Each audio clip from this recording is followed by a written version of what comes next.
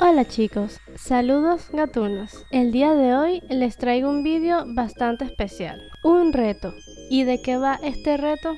Pues de crear tu propia Miauzona o personaje original de Tokyo Miau Miau. Esto con la idea de activar aún más el fandom y pasarlo bien compartiendo nuestros personajes con los demás, viendo las diferentes ideas que se nos ocurren a todos.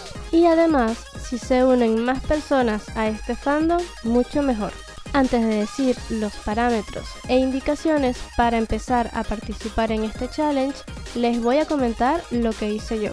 Bueno, como yo ya he mencionado en anteriores vídeos, soy fan de esta serie desde hace mucho desde el primer anime del 2002. Estoy viejita, no me juzguen. Y por aquel entonces ya tenía una OC, pero era una aberración. El típico OC Darks vampiro con poderes de Dios. No, bueno, casi. Y por obvias razones, a día de hoy no me gusta nada. Aparte que la creé en mi etapa emo. Sí, chicos, todos tuvimos una etapa emo. Y era así, super darks. Creo que estaba fusionada con un murciélago para que pareciera un vampiro. y con un gato, por supuesto. Siempre Nequita, nunca Ignequita. Y nada, para mí ya no tiene sentido esa OC. A día de hoy me gustan otras cosas, como por ejemplo el rosa. Todo el mundo pasa por esa etapa, gente. Ustedes creen que no, pero los memes son reales. A los 12, fijo, estás todo emo y dark. Y luego a los 20 para arriba empiezas a amar el rosa otra vez. Como que tu cerebro ahí inconscientemente intenta aferrarse a lo poco que le queda de juventud. y empiezas a amar todo lo que amabas cuando tenías 5 años. No, bueno, ya.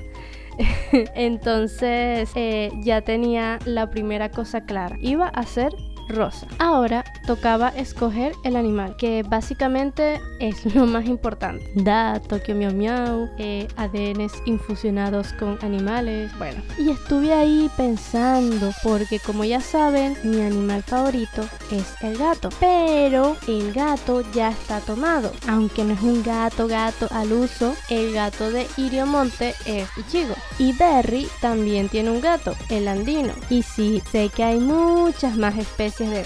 Pero como que ya hay demasiados gatos, ¿no? Ya está como muy repetitivo. Y sí, sé que también pude haber usado un felino grande, como un tigre. Pero es que no me gustan tanto esos animales como otros. Así que tuve que abandonarte ahí, mi viejo amigo.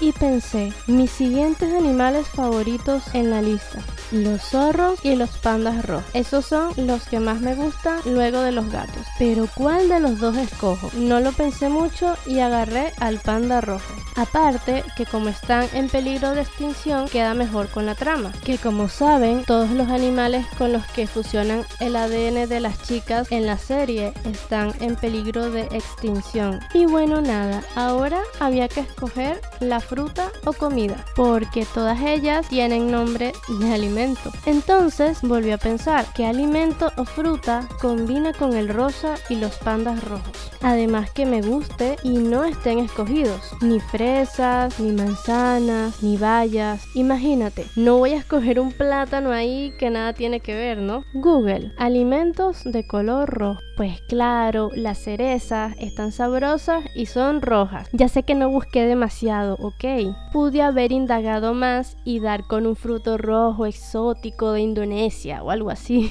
Pero me dio flojera, gente. Y entonces dejé la cereza y ya. Y bueno, ya que tenía los tres elementos, ¡Fusión! No me pensé tanto cómo hacerle el outfit, sino que intenté hacer algo un poco casual algo que yo usaría si fuera una Miau Miau.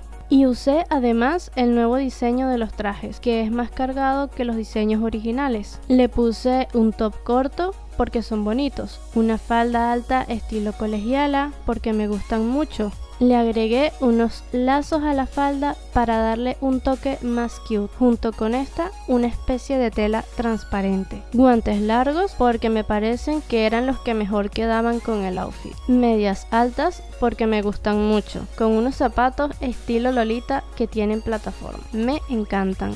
Para el peinado no lo tenía muy claro al principio. Pensé en hacerle unos chonguitos, pero es que con las orejas puede que se perdieran. Aparte que con ellos quedaba muy parecida a Mint, así que lo borré. No sabía si dejarle el pelo suelto y largo o corto y suelto o trenza, me volví un cool. Al final opté por dejarlo medio y con dos caletitas, pero que se viera bien voluminoso el pelo. Y creo que quedó cute. Ah, y como toque le puse este clásico mechón de pelo que queda levantado muy típico de los animes. Le puse su respectiva cola y oreja de panda y las cejas, se las dibujé como ellos las han visto. O sea, no son cejas, pero son unas manchas que tienen en la frente que parecen cejas. Y se ven bien graciosos porque parece que están enojados. Y nada, terminé por hacer el arma, que para eso tampoco quise complicarme mucho. Hice una varita e intenté que pareciera de cereza. La verdad la hice muchas veces porque no me convencía. Quería hacer este diseño con estrellas, pero no terminaba de encajar, ya que la forma de las cerezas combina más con la forma de los corazones. Lo mismo que la marca Miau. Al final terminó siendo algo muy diferente por la misma razón. Otra cosa con la varita de verdad la rehice muchas veces. Es que quería ponerle una decoración. Pero no las típicas alitas que siempre llevan todas las varitas, ¿saben? Al final la dejé así como está. Y me puse a hacer la versión civil usando el traje del café. Solamente le oscurecí el pelo como un castaño rojizo en vez de rosa cuando está transformada y ojos castaños. Y nada, la marca Miau quise hacer una forma de corazón que termina en lo que según yo son colas de panda. Y en el centro una cereza que parece corazón. Agua de tamarindo que parece de Jamaica con sabor a limón y de nombre le puse Miau Cherry, cereza en japonés. Si les soy sincera, aún no tiene historia, pero puedo crearla si veo que les gusta el personaje. O si no, pues así se queda la pobre, sin un background. ¿Quién soy? ¿De dónde vengo? Estás pidiendo mucho, Miau Cherry. Te creé. ¿No te basta con eso? Bueno gente, ya que terminé de explicar mi aburrida historia sobre cómo hice a Miau Cherry, vamos a lo que todos estaban esperando. Las bases para participar en el challenge. Primero que nada, cualquiera puede participar y no hace falta saber dibujar. Lo importante y lo divertido de esto es ver la creatividad de la gente, creando personajes divertidos y llamativos.